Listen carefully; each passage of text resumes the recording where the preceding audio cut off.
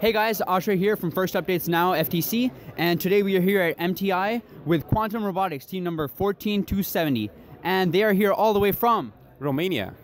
Awesome. So you heard it from them, guys. They're here all the way from Romania, competing at MTI, and they brought this amazing robot with them. Let's see what they have to offer. So, what do you? What does your robot have? Like, what are some really cool things about your robot? So what I believe is the most interesting part is the really low center of mass. We actually got this going because we have two extra motors down here. So we have fourth for the drive, and then we have two motors that uh, transmit power through bevel gears. So we have this motor in the back that is used to lift the outtake, and this motor in the front that is used to push the uh, intake.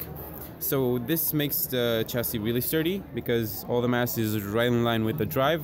So we are really sturdy and we can pretty much push everything around. Also, we are really proud of our climb system.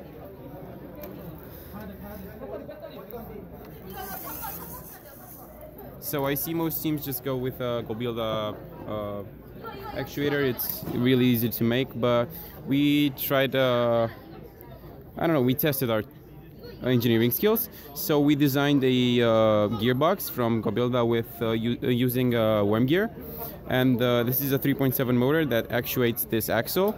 And uh, on each side we have a double spool that pulls uh, one string up and one string down. So when you move the motor, the system goes up or down. This is really useful because if the power is off, this won't move due to the uh, worm gear. So yeah, at the end we just have a simple hook. It's easy to drive around. So also we have uh, these uh, sliders. There's uh, bearings over here to to lower the friction with the lander.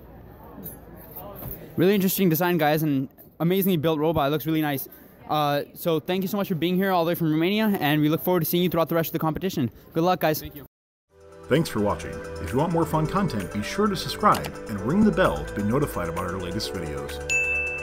You can also directly help support Fun by visiting our Patreon at patreon.com forward slash first updates now or by subscribing at twitch.tv forward slash first updates now.